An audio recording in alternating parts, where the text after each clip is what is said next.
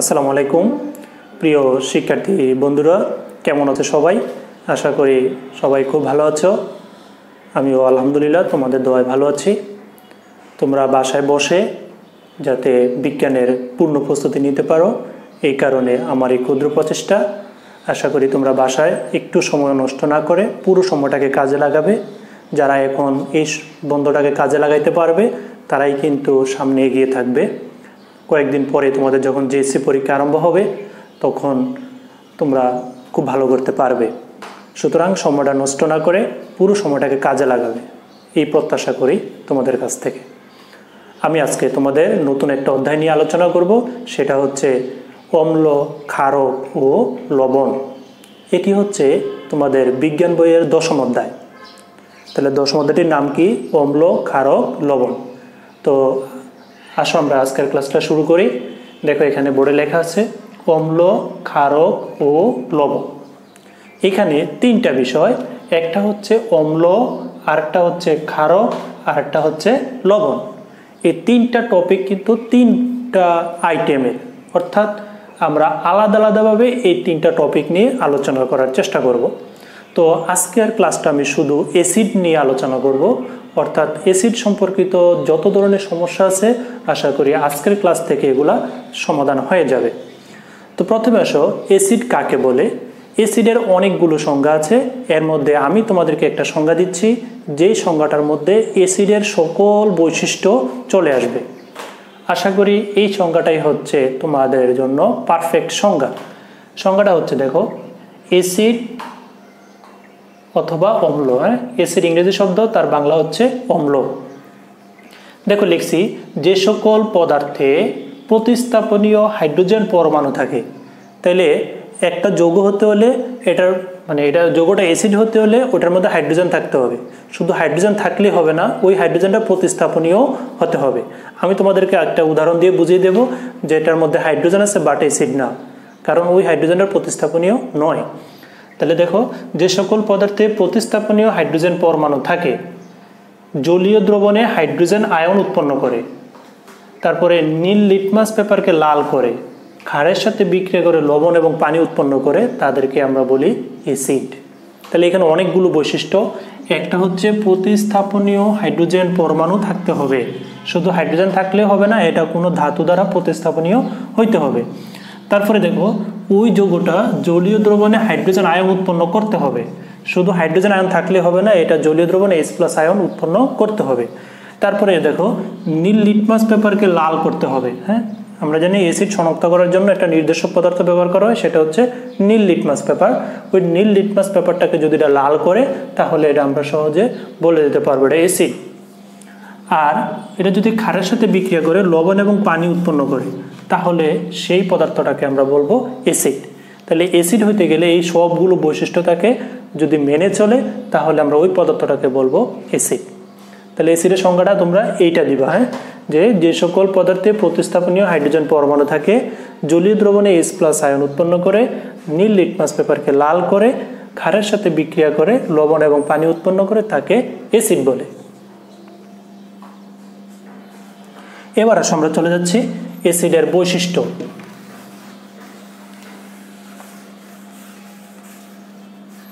Acid বা অম্লের বৈশিষ্ট্য। এক নম্বর আসো, যে অ্যাসিড জলীয় দ্রবণে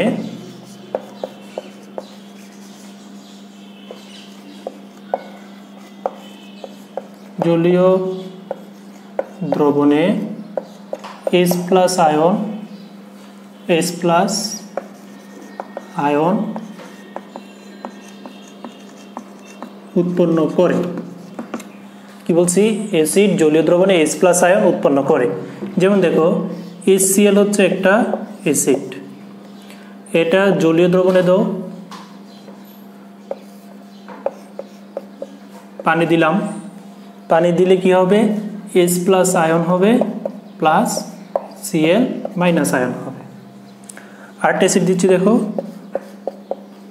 CS three C double H এখানে এস টু দিলে, এখানে হবে S plus plus CS three C double minus অর্থাৎ দেখো এই পদার্থটাও জলীয় দ্রবণে এস প্লাস আয়ন উৎপন্ন করছে, আবার এই পদার্থটাও জলীয় দ্রবণে এস প্লাস আয়ন উৎপন্ন করেছে। তাই আমরা এই দুইটা পদার্থকে বলতে পারি এসিড এবার আসো দুই নম্বর এসিডের আর একটা বৈশিষ্ট্য, সেটা হচ্ছে এসিড নীল লিটমাস পেপারকে নীল লিটমাস পেপারকে লাল করে। তো দেখো এখানে একটা অ্যাসিড দাও। ধরো আমি দিলাম এসসিএল দিই স্টেসোপোর দিই। এটাকে আমি যদি পানিতে দেই, তাহলে হবে টু এস প্লাস সরি এটা তো লিটমাস পেপার দেব। দিলাম লিটমাস পেপার। এটা হয়ে যাবে লাল। লিটমাস। অর্থাৎ এসিড নীল লিখতে হবে। এসিড নীল লিটমাস পেপারকে লাল লিটমাস পেপারে পরিণত করে। এটা হচ্ছে এসিডের আরেকটা বৈশিষ্ট্য। দেখো, এইটা মনে রাখার জন্য আমি একটা সহজ টেকনিক বলে দিই। এটা মনে রাখবা, এনি খালা দিয়ে, এনি খালা। খুব সহজ। দেখো এই এ মানে হচ্ছে এসিড নি মানে হচ্ছে নীল। এসিড নীল লিটমাস পেপারকে লাল করে, আর খালা হচ্ছে যে খার, লাল লিটমাস পেপারকে নীল করে। তাহলে এসিড নীলকে লাল করে। দেখো এসিড নীল লিটমাস পেপারকে লাল লিটমাস পেপারে পরিণত করেছে। এবার আসো আরেকটা বৈশিষ্ট্য। তিন নম্বর। তিন নম্বর হচ্ছে অ্যাসিড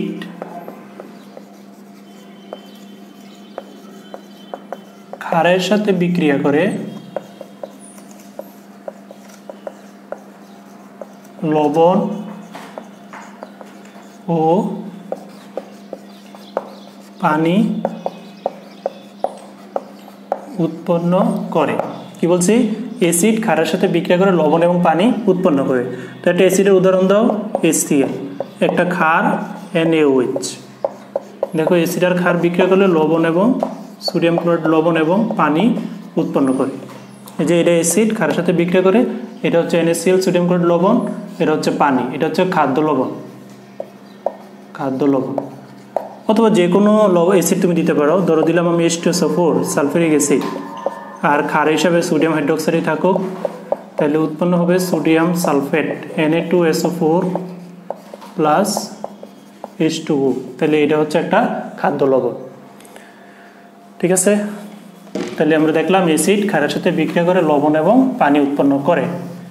এবার আসে অ্যাসিডের আরেকটা বৈশিষ্ট্য। চার নম্বর, অ্যাসিড ধাতব কার্বনেটের সাথে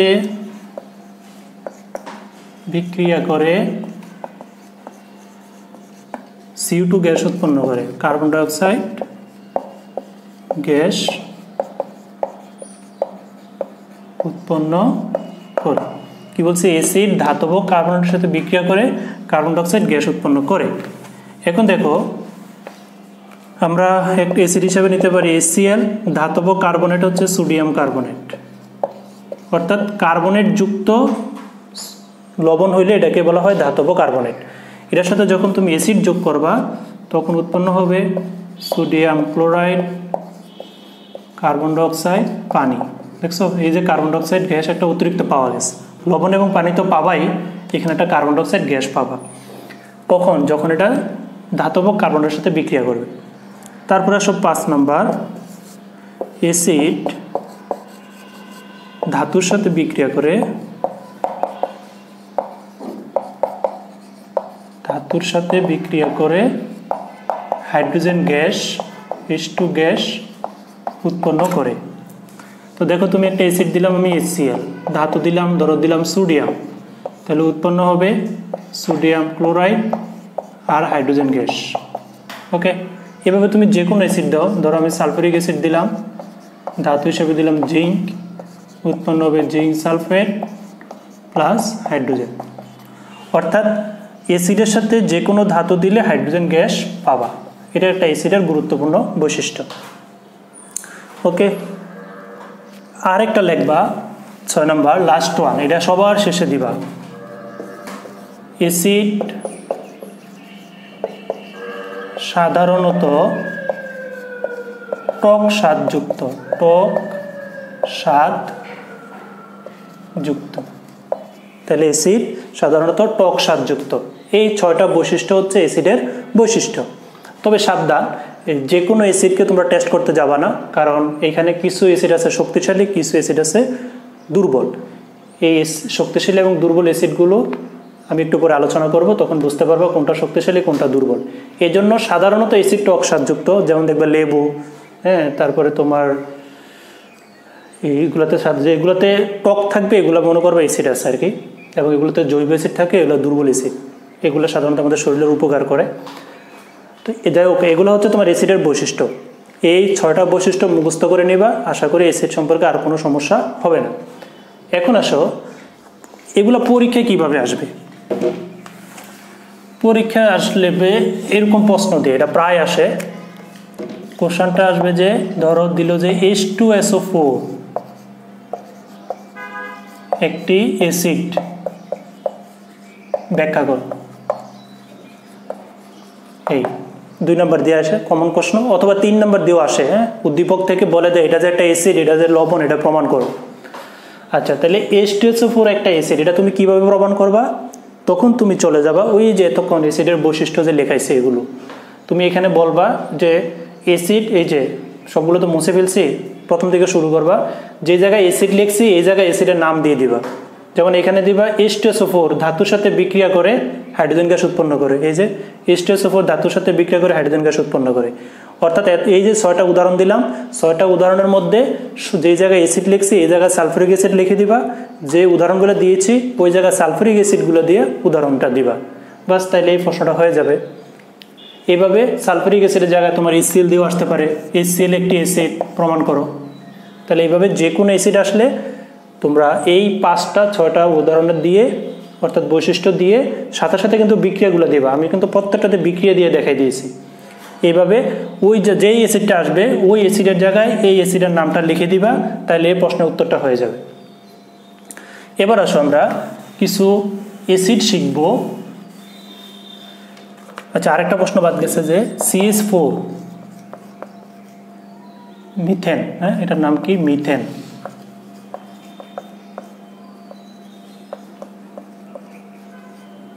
অ্যাসিড কিনা? অর্থাৎ সিএস ফোর অ্যাসিড কিনা? এই প্রশ্নটা পরীক্ষা আসে, মিথেন কি অ্যাসিড বা মিথেনকে অ্যাসিড বলা হয় না কেন? তো তোমরা বলবা যে সিএস ফোর এই যৌগটিতে চারটি হাইড্রোজেন পরমাণু রয়েছে। এই চারটি হাইড্রোজেন পরমাণু থাকা সত্ত্বেও এখানে একটি হাইড্রোজেন পরমাণু প্রতিস্থাপনীয় নয়। এটি জলীয় দ্রবণ এস প্লাস আয়ন উৎপন্ন করতে পারে না। এটি নীল লিটমাস পেপারকে লাল করে না। এটি ধাতুর সাথে বিক্রিয়া করে হাইড্রোজেন গ্যাস উৎপন্ন করে না। এটি ধাতব কার্বনের সাথে বিক্রিয়া করে কার্বন ডাইঅক্সাইড গ্যাস উৎপন্ন করতে পারে না। এই কারণে মিথেনকে অ্যাসিড বলা হয় না। আশা করি এই ধরনের প্রশ্নগুলো আসলে তোমরা পারবে। এবার আসো, কোনগুলো শক্তিশালী অ্যাসিড কোনগুলো দুর্বল অ্যাসিড এটা কীভাবে চিনবা? এটা একটা তালিকা করে দিচ্ছি। শক্তিশালী শক্তিশালী বা আচ্ছা শক্তিশালী অ্যাসিড আরটা হচ্ছে দুর্বল অ্যাসিড ঠিক আছে? শক্তিশালী অ্যাসিডগুলো হয় তোমার অজৈব। আর দুর্বল অ্যাসিডগুলো হয় জৈব। যেমন দেখো, শক্তিশালী আমি যে লিস্টটা দিচ্ছি, এই লিস্টটা থেকেই পরীক্ষা কমন পড়বে। ইনশাল্লাহ তোমাদের জেএসসি লেভেলে আর লাগবে না।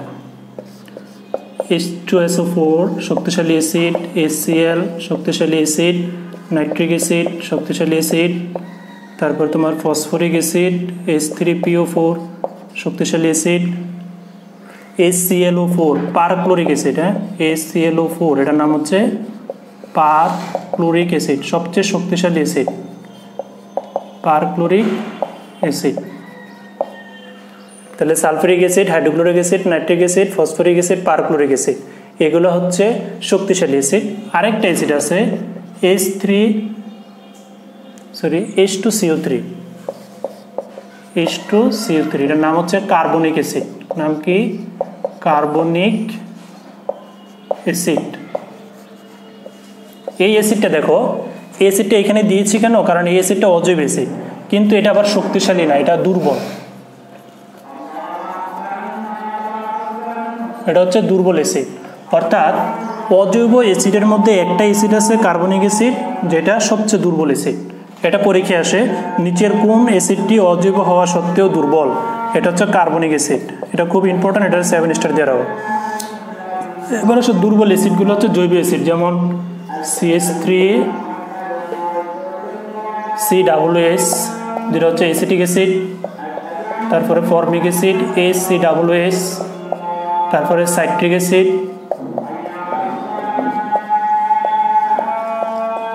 সাইট্রিক অ্যাসিড ইত্যাদি হ্যাঁ? সহজ কথা হচ্ছে যেগুলো জৈব অ্যাসিড এখন প্রশ্ন হচ্ছে, জৈব অ্যাসিড চিনবা কীভাবে? যে অ্যাসিডগুলোর মধ্যে সি ডাবল এস মূলক থাকে হ্যাঁ? Single bond C double S এটাকে বলা হয় কার্বক্সিলিক মূলক বা জৈব এসিড মূলক। এই মূলকটা থাকলে এই অ্যাসিডগুলো হবে দুর্বল অ্যাসিড। আর এগুলো সারা যে এসিডগুলো হবে, সেগুলো হচ্ছে শক্তিশালী এসিড অর্থাৎ অজৈব এসিডগুলো শক্তিশালী অ্যাসিড। আরেকটা কি বললাম? যে কার্বনিক অ্যাসিড একমাত্র অ্যাসিড যেটা অজৈব হওয়া সত্ত্বেও এটা দুর্বল, আর বাকি সকল অজৈব অ্যাসিড শক্তিশালী অ্যাসিড। তো আশা করি এই শক্তিশালী অ্যাসিডগুলো এবং দুর্বল অ্যাসিডগুলো তোমরা চিনে ফেলবা। আমি একটা ছবি দিয়ে দিব, তোমরা সহজে এটা দেখে নিতে পারবে।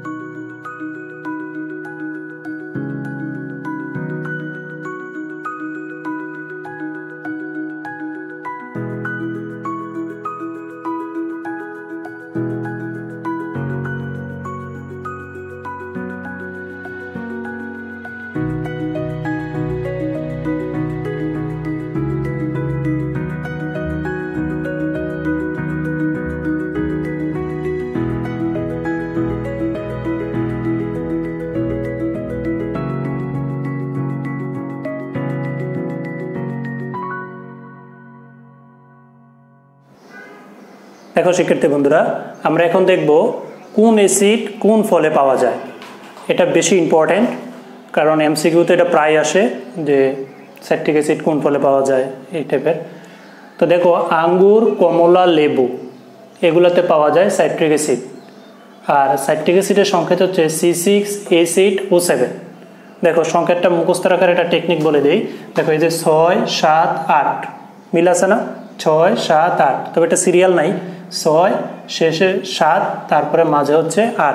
Carbon, hydrogen, oxygen. ওকে, তাহলে আঙ্গুর, কমলা লেবু, কমলা এবং লেবু এগুলোতে পাওয়া যায় সাইট্রিক অ্যাসিড। একদম মুখস্থ করে ফেলবা। তারপরে সহ তেঁতুল। তেঁতুলের মধ্যে পাওয়া যায় টাটারিক অ্যাসিড, এটা সবাই জানো। যে তেঁতুলের টাটারিক অ্যাসিড পাওয়া যায়। আর টাটারিক অ্যাসিডের সংকেত হচ্ছে C four, O six, H six. C six, H six, O six. এটা হচ্ছে টাটারিক অ্যাসিডের সংকেত। তারপরে হচ্ছে টমেটো।